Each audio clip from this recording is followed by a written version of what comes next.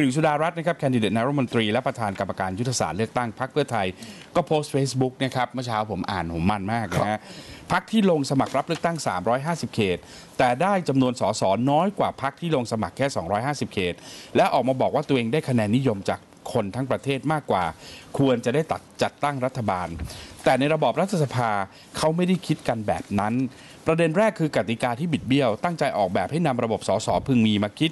เพื่อตัดคะแนนพักที่คนนิยม และได้จำนวนสสเขตมากที่สุด เพื่อทำให้ได้สสบัญชีรายชื่อน้อยที่สุด นี่คือกับดักอย่างหนึ่งที่จงใจให้เกิดความยากลำบากในการแข่งขัน เพราะไม่ต้องการให้พักที่มีคะแนนนิยม ซึ่งแสดงผ่านจำนวนเขตที่มากเป็นพักที่แข็งแรงเกินไปครับประเด็นที่ 2 ก็คือการโหวตในสภานะครับเมื่อคิดจากสสหนึ่งคนมีคะแนนโหวตเท่ากัน 1คะแนน เสียงข้างมากในสภาจึงมีค่าเท่ากับสส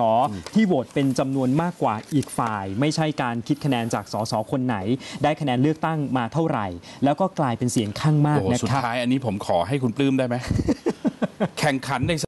กันออกแบบกติกาเอาเปรียบคนอื่นมามากมายมหาศาลครับแต่จุดสตาร์ทยันเส้นชัย แต่จำนวนสสก็ยังแพ้อยู่อ่าเข้าเส้นชัยเป็นที่สองแต่ขอรับเหรียญทองบนแท่นที่หนึ่ง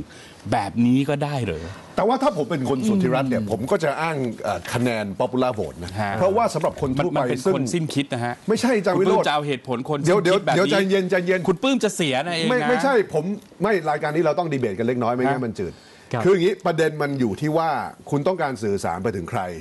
มันมีคนจำนวนมากนะฮะ ครับ เป็นไม่รู้กี่สิบล้านคนที่เขาไม่ได้เข้าใจในระบบรัฐสภาตามหลักรัฐศาสตร์ปกติอ่า นะแล้วเป็นไปได้ว่าวาทกรรมว่าได้ popular vote เยอะกว่าเนี่ยครับ ถ้าเขาไม่ได้ไปอ่านที่อาจารย์พรสันเลี้ยงบุญเลิศชัยเขียนเนี่ยอืมมันปลื้มมันเป็นวาทกรรมที่คนจำนวนหนึ่งฟังแล้วก็รู้สึกว่าเฮ้ยนั่นคือความชอบธรรม ยอมรับได้ คือบังเอิญอาจารย์วิโรจน์อาจารย์พรสันคนอื่นเขาเรียนรัฐศาสตร์มาอ่าแต่ว่าคนที่เขาไม่ได้เรียนรัฐศาสตร์เนี่ย เอาจริงๆบางทีเขาไม่แคร์นะเขาไม่แคร์ว่าโดยระบบรัฐสภามันอ่าอยู่ที่สสมีกี่ที่นั่งครับเขาอาจจะแคร์ก็ได้ว่าเฮ้ย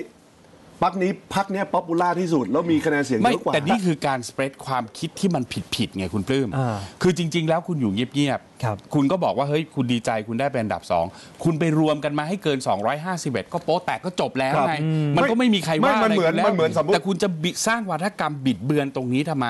เพิ่มงั้ความนคราวหน้าชอบธรรมถ้าพรรคเพื่อไทยได้ popularity vote มากกว่า แต่ได้สสน้อยกว่าไปอ้างบ้างอยากรู้จะดิ้นกันยังไงอ่าเข้าใจแต่คราวนี้ตามปกติคราวนี้ไอ้ประเด็นเนี้ยเมื่อก่อนมันไม่ได้เป็นปัญหา ใช่ เพราะว่าในอดีตเนี่ยในรัฐธรรมนูญ 50 และ 40 เนี่ยครับอ่าโอกาสที่จะออกมาเป็นอย่างนี้เนี่ยมันน้อยมันน้อยอ่าเพราะฉะนั้นในสมัยที่ท่านอดีตนายกรัฐมนตรีดรทักษิณชินวัตรพรรคไทยรักไทยเนี่ยถ้าจะอ้าง popular vote นะฮะอย่าเซ็นเซอร์ผมนะครับ ถ้าจะอ้าง popular vote เนี่ยสมัยที่ดรทักษิณพรรคไทยรักไทยชนะเนี่ย